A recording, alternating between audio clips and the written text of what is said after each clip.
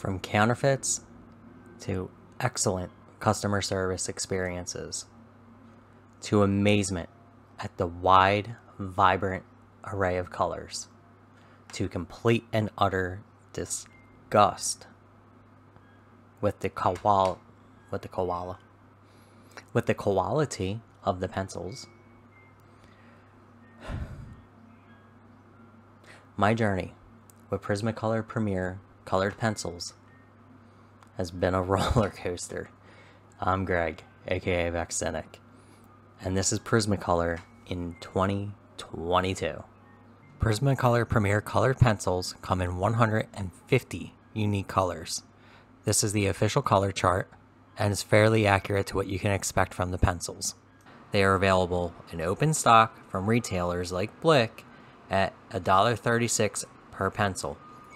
The sets range from various 12 count tins at $26.99 from Michaels or $14.59 from Blick up to a complete set of 150 for 200 at Michaels or 120 from Blick. It's a no-brainer. Shop around.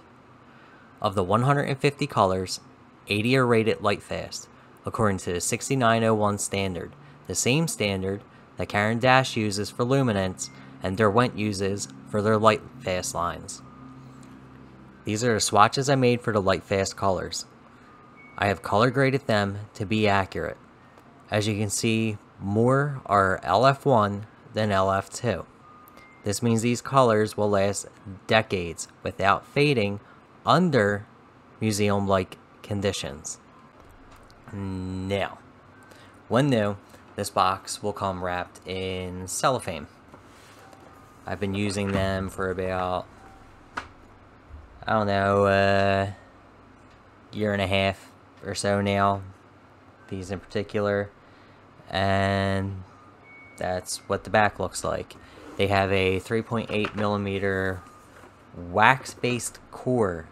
Color pencils are, all color pencils are oil and wax, but Prismacolor are biased wax. So they come in this box here.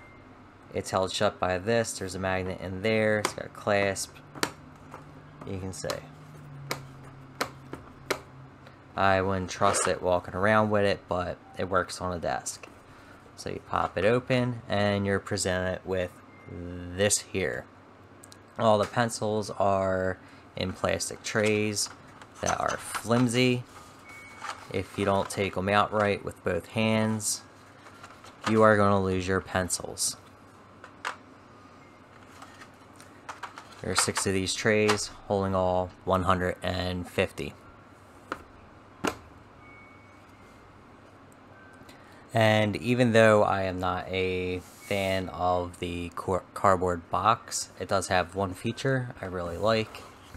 If you take it, you fold that under like this, and it puts them at an angle in front of you like that. I do like that. It's convenient. But, um, yeah, that's about it for that. So, this is what the pencil looks like. It's a fairly simple design, which I don't mind. Sometimes simple is better. As you can see, 3.8 millimeter wax core. Country of origin is stamped. You have the Prismacolor branding right there. You have the color name in English and French, and the color number. Because they are open stock, you'll need that to reorder. They, however, do not have a capped end, which it's I think it's debatable as to whether or not it actually protects the core. I can see how it could if it drops and hits like that. Um, that's going to take a direct shot. Now, this is what it looks like compared to a Pablo. A Pablo is a hex core. The thing I prefer about Prismas is the labeling. The labeling, no matter what, is always legible on these. On lighter pencils, it'll be black, and that no matter the lighting, you don't get that crazy shine on it. You always know what you're picking up. These, however, because they are trying to be a little more fancy, the lighting it the writing there is real small as far as the color name and number and light fast rating. They use blue wool for these. Depending on your lighting, you'll get a shine and these will be a little harder to read. They are capped, which is considered a boon for a lot of people. And if you look at them, it's they're about the same as far as the barrel thickness. I don't have my uh, calipers, so I can't check it but the hex core doesn't make a difference as far as I'm concerned. Now if you look at it, them compared to a higher tier pencil, the Derwent Lightfast and the Luminance, you can immediately see that these are some fat boys here. They are definitely a little thicker. They again capped ends on these because when you are trying to market a quality product, capped ends are great for that. Um, the thickness of these hasn't affected me any and the writing on these has not been a problem yet.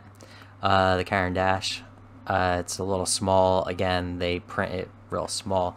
Now the arch nemesis of Prisma here, uh, Faber-Castell Polychromos, is a thicker barrel. I'm not 100% sure if the core is thicker or not. It appears to be. It is a harder core again that has a capped end.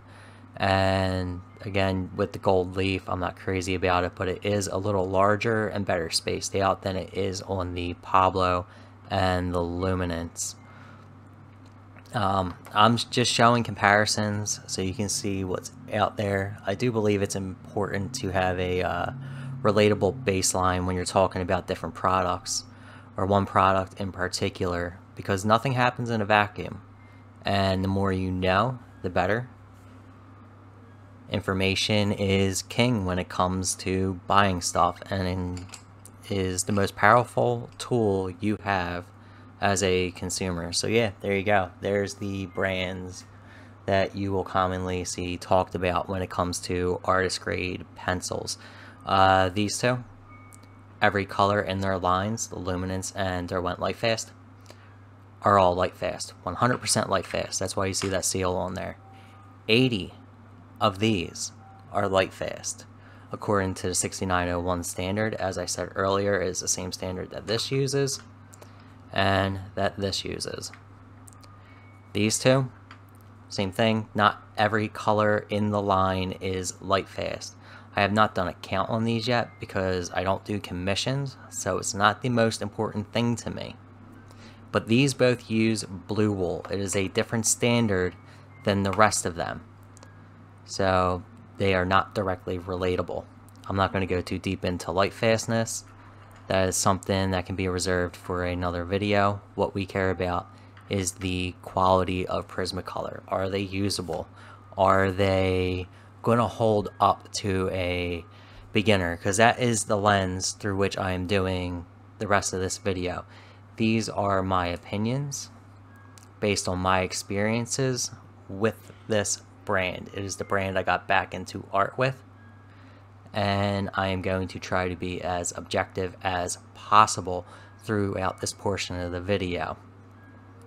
I have contacted Prismacolor. I was asking them about their QA standards because I want to give them a fair shake and it seems as though they will be sending me a replacement 150 count set. If that happens, I will be doing a follow-up video to this one. I will live stream it here on the channel. My plans are to open it and swatch it straight through with two cameras, one on the paper I'm swatching and showing the sharpening and another camera on the box so you know there is no funny business going on. I will update on my Twitter about what's going on with that. And now let's get into the pros and cons of these pencils because they have been fairly polarizing for me.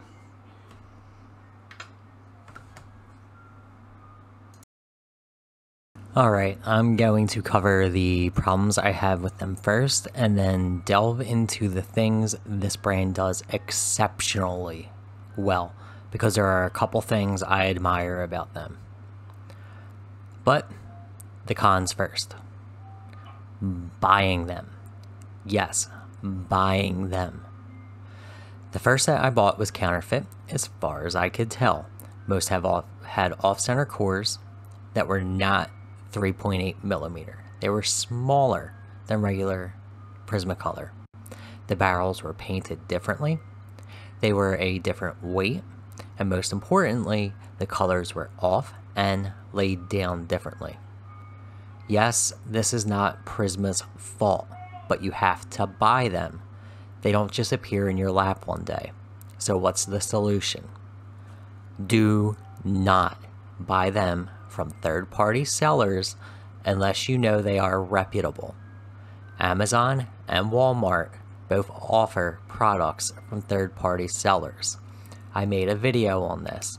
It was focused primarily on Amazon because that was where I got them. I'll link it in the description. Oddly enough, though, the counterfeits did not have one cracked barrel, which brings me to my next problem the build quality, or lack thereof.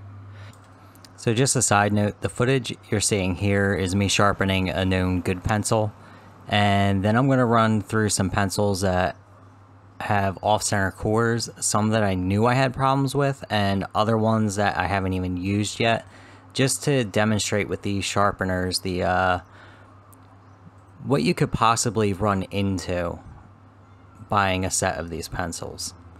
And it doesn't always matter whether you have the Dahl or you have the Prismacolor barrel. It's regardless of the sharpener, you can run into problems. I've tried a number of different ones. So, uh, back to the review. It's as though they don't check the product off the line. It has been my main sticking point. It's just not there. So far, across one 72 count set directly from Newell and one 150 count set purchased from Blick, I've had the same issues across all the pencils. I've had a ridiculous amount of barrels cracked right out of the box. And I've had more crack while sharpening. I'm not sure if it's the adhesive or not. Is it not strong enough? Maybe it's part of it, but a lot of the cores are off center as well. This leads me to believe the wood is not being cut evenly, which may lead to whatever routing is being done to create a groove for the core to rest in is off as well. Carpentry is one of those things where every small mistake makes the next mistake much more impactful. So perhaps the seam being off and the cut for the core being canted causes undue stress and weak points, thus causing the barrels to crack, maybe the adhesive not to stick properly. I don't know what it is, but these pencils crack. I have not had any completely split apart although I have a few that look like they might if I continue to sharpen them. But I have read about people having that problem, though I have not experienced it myself. And I believe this is the crux of the problems with sharpening these pencils. The quality of the manufacturing of the barrel is affecting the core. The points often break while sharpening. It's almost guaranteed if the core is off. And these are pencils I quickly picked out of the um, 72 count set that have off-center cores. And I mean when I say quickly picked that means at a glance I wasn't even being picky about what I pulled. And these are the ones that are just egregiously off-center I have used two different Kum sharpeners a Prismacolor barrel and a Dahl 155 the Kums and Prisma were breaking points, be it twisting the sharpener to sharpen them or twisting the pencil to sharpen them. It did not matter. The points broke regardless. The Dahl, however, is an entirely different animal. This is the community recommended sharpener for these pencils. And though it works great with my other pencils, it has the same issues with Prismas. It also cracks barrels. And has flattened the entire side of the points before. I don't know how that happens. I don't know how a pencil does simply gets flattened out on one side. On top of this, because the barrels are a soft wood. The pencils can spin even with a good bite while sharpening. And those are the major problems that I have found with them. I have a few other small gripes that would be nitpicking at this point. Let's cover the pros now, because the things these pencils do well, they do really well. And this one isn't so much the pencils as it is the customer service. I gotta give it to them. They are extremely responsive and eager to solve your problems. When I had the counterfeit set, which I didn't know they were at the time, and I emailed Newell about the quality of the pencils I was using, they immediately sent out a new set without question. They are possibly sending out a new set to replace the 150 count set I've been using for the review here. I didn't even email them about the set specifically. I just asked about their quality assurance department and what standards they operate by. Haven't gotten a reply back on that yet, but I may be getting a new set of pencils. Maybe these pencils will be good. They said they're coming directly from the warehouse off the line. So if this is the case, I'll be doing a review on a brand new set of Prismacolor. Will they redeem themselves? I don't know. We'll see. Customer service, despite the quality of the pencils, is top notch. And I don't know if it's just cheaper for them to send out a new set of pencils every time there's a problem, but I mean, you can't really argue with that. They're eager to help you. The color line is fantastic. They pop and stand out in an incredible way. All 150 are usable and cover a well thought out range of colors. No spectrum feels like it's lacking in colors. If you're not worried about commissions or fading over time, this set is all you're going to need to do what you got to do. You should be able to mix any color from it, though sometimes the 150 set feels a little overwhelming to me because I like to mix colors and a smaller set helps me think more critically about that and I get less into looking at well I could use this color or I could use that color or I could use this color. I just go into mixing colors. But you know, to each their own. That's a personal preference. And this is perhaps the biggest boon for them. They are easy to blend.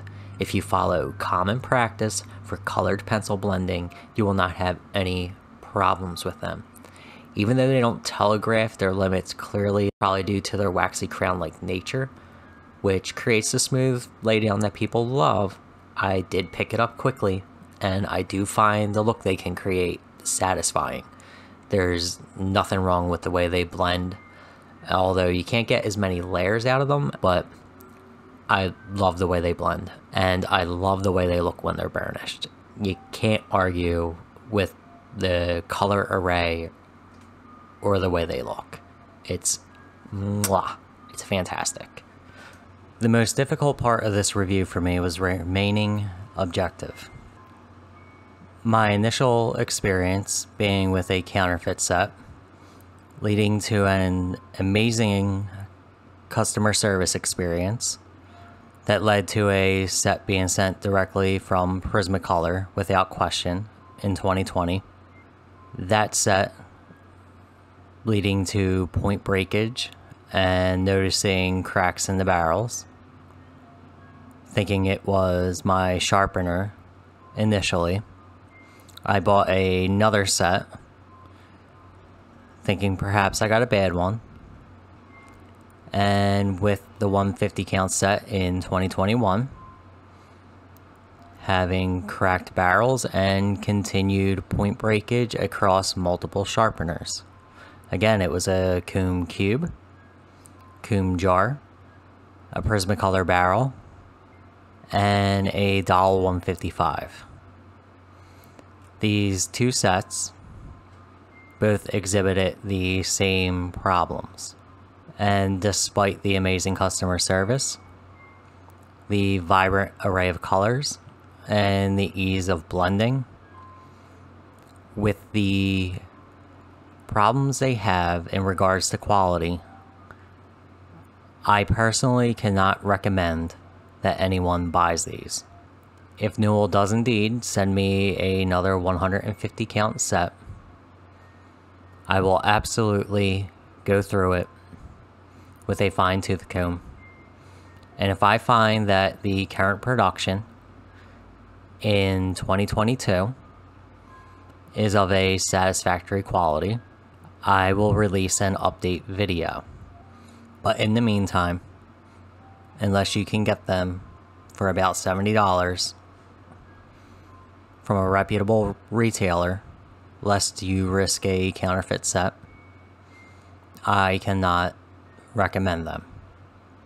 If you are a beginner with colored pencils, it can be an extremely frustrating experience. I nearly stopped using colored pencils because of these until I got the Caran d'Ache Pablos. So currently, that is where I stand. And is the nicest, most objective way I can say it. Is I do not recommend them for the money they ask.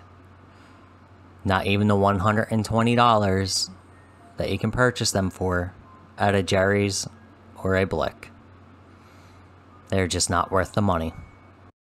I hope this review was insightful and helped you form an informed opinion. Because, as I said before, as a consumer, information is the best tool you have at your disposal. And money is how you vote. You vote with your wallet. If it's not a quality product, you don't buy it, and hopefully the company wises up. Thanks for watching. I'm Greg, aka Vexed Sinik. Hit that sub button, like, dislike, leave a comment. Have a good one. I'm out.